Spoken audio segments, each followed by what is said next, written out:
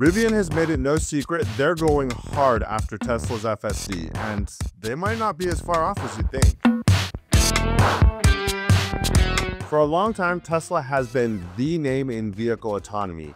No other system has come close to the levels of autonomy that they've offered in their vehicles for any of their customers. However, Rivian is coming hard after them.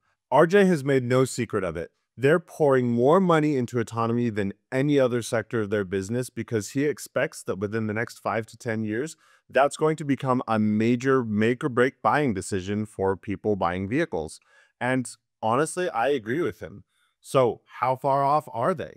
Now, before we get too deep into this topic, I don't expect that Rivian is going to bypass Tesla's FSD anytime soon. They have a huge head start. That said, Rivian is moving extremely quickly, and I think most people are underestimating how fast they're going. On December 11th, Rivian is going to have what they call an AI and autonomy day. This is where they're going to unveil a lot of the stuff that they've been working on, get us some demos of the technology, and talk about what the roadmap is for the future and when they plan to get there. It all sounds very promising, but if they really are moving that quickly, first of all, how have they moved that quickly, especially when Tesla has taken decades to get to this point? Or I guess a decade, a little bit more than a decade. I don't know, years. But also, how do we know that this isn't all just fluff? Well, we don't know for sure, but there are a few signs that look very promising, and we'll talk about that in a minute. But going back to the question of why they're able to move so quickly, well, I think there's a few factors here. The first one, and what I think is probably the biggest factor, is they're just a later mover. They're coming later on in the game than Tesla did.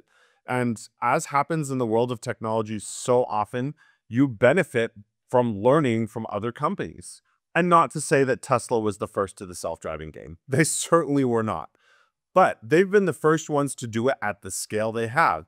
And the things that they have learned have rippled out into the industry, which just happens with the world of technology.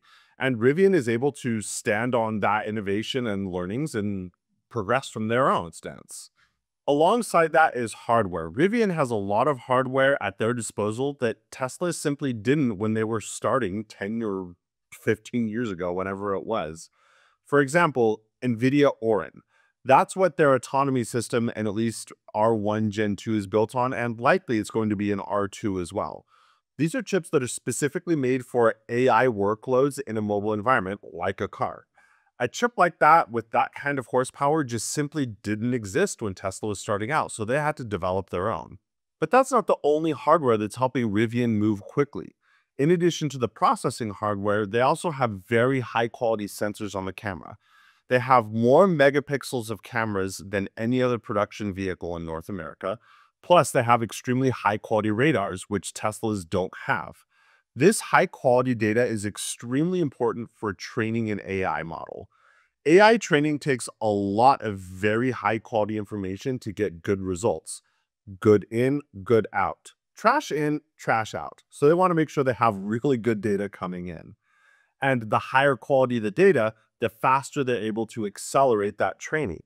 It takes a lot more time and effort to train on a set of cameras that are lower resolution and even more so the fact that they don't have other sensors to augment with it. And not to say that Tesla's approach is wrong, it's just adding more sensors, if done correctly, can make the training process move a lot more quickly. This is why oftentimes you'll see manufacturers driving around with these crazy rigs on their vehicles that kind of look like a Waymo, where it's got all these crazy LiDARs and radars mounted with a roof rack on the system. Tesla has been known to drive around with vehicles like this. Rivian has a fleet that they call Penguins. They're exactly what this is. It's a good, high quality data gathering system. But the real power comes when you have a whole fleet of customer owned vehicles because while they have a few of those penguins that are collecting really high quality data in small quantities, it's dwarfed by the amount of miles that are being driven in customer vehicles and having the extra radars and megapixels just help train better. So sure, Rivian has the advantage of learning from those that came before Tesla.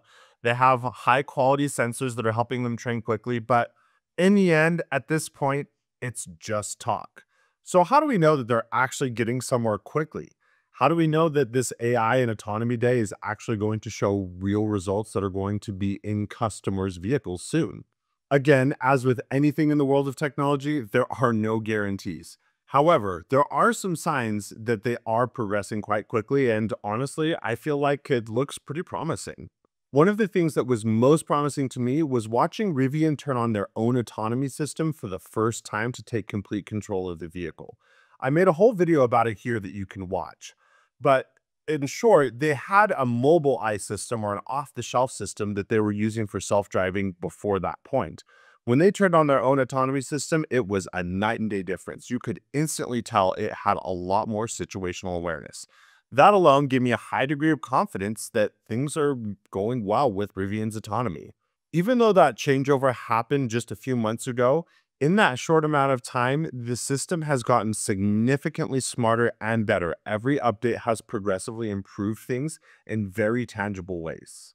Along with these improvements, we're seeing small hints about features that are coming along, slowly building to the point where we can have a point-to-point -point self-driving system. For example, the system has started to hallucinate lines on roads with no lines at all. In the world of AI, a hallucination means that it sees or invents something that doesn't exist there. The interesting thing about these hallucinations or these lines that it's creating that don't exist is they're on the road where a line would be if it did exist. So what that's telling me is the system is looking for a viable path to drive down even though there's no clearly marked lanes on the road.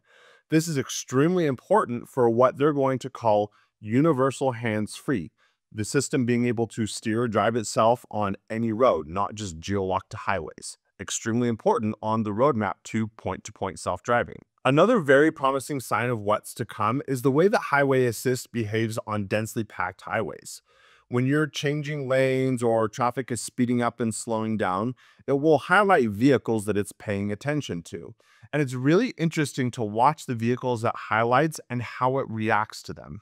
It's able to read the body language of the driver, so to speak. Before they turn on their turn signal and start getting over, it's able to see that they're starting to inch over and kind of backs off. Likewise, if someone is coming up in your blind spot while you're trying to make a lane change, it can understand where they're headed and what their intentions are. Again, very important when you're going to have a full point-to-point self-driving system. So while the current software certainly isn't there yet, and there's a very long way to go, you can see the roadmap of where they're going in the current software and how it's gaining abilities to perform new tasks. Slowly, these tasks will build upon each other and we'll get to the ultimate goal of getting a new car, putting in a destination, and letting it drive the entire way. But now there's an elephant in the room that we have to talk about the cost. Up to this point, Rivian's self-driving system has been for free for all of its owners. But they've also been very clear from the time the Gen 2 went on sale, it is going to cost money. There will be a subscription associated with the Rivian Autonomy platform. We don't really know details on the cost structure or when that's going to happen, but I'm fairly sure they're going to say something about it on December 11th. Because the truth is, Rivian has been pouring an immense amount of money.